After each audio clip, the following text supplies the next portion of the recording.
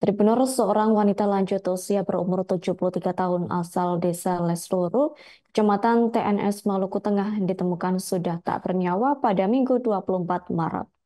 Adapun lansia tersebut adalah Robeka atau Mama Beka Lesu atau Tutke 73 tahun. Warga Lesluru tersebut sebelumnya ditemukan Maksud kami warga Lesluru sebelumnya oleh pihak keluarga melaporkan korban sudah tidak kembali ke rumah selama tiga hari. Untuk informasi selengkapnya akan disampaikan langsung oleh rekan wartawan Tribun Ambon. Lukman Mukadar, silakan untuk laporan lengkapnya. Baik, uh, Dila dan juga Tribuners dapat kami laporkan dari Masohi Maluku Tengah bahwa uh, beberapa hari kemarin atau uh, minggu lalu telah dilaporkan ada uh, berita kehilangan di mana salah satu wanita uh, lanjut usia berusia 73 tahun ini dilaporkan hilang. Dan uh, setelah diketahui penemuan mayat sesosok wanita di desa Trana, kecamatan TS, TNS Maluku Tengah. Dan uh, diketahui bahwa wanita tersebut bernama uh, Robeka atau Beka Lesu Tutke, 73 tahun, warga desa desa Lesluru, Kecamatan Teomila Seru atau TNS.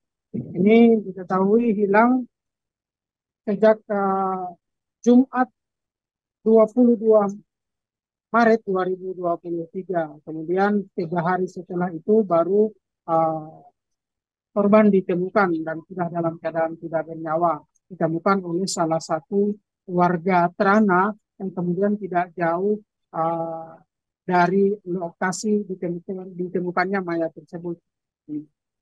Namun uh, saksi mata bernama Abe Aso ini kemudian uh, sebelum menemukan mayat tersebut dia bermimpi didatangi uh, korban dan uh, mengatakan bahwa tolong datang ambil beta ambil saya di lahan belakang maksudnya di lahan uh, kebun belakang ataupun tidak jauh dari rumah uh, rumah saksi.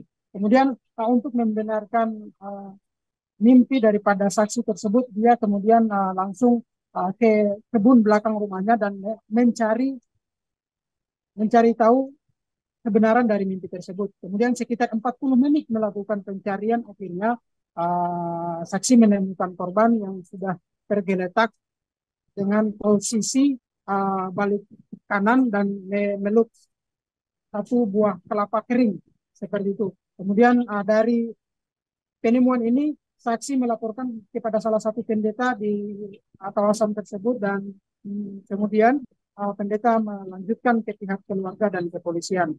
Setelah mendapatkan laporan ini, uh, pihak keluarga langsung meminta mengucapkan ucapan terima, terima kasih kepada pihak-pihak yang telah menemukan korban dan langsung melakukan uh, proses pemakaman di hari Minggu kemarin saat itu juga.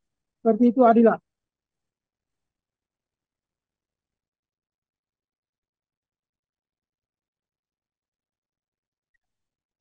Baik, terima kasih untuk informasi lengkapnya. Silakan bertugas kembali.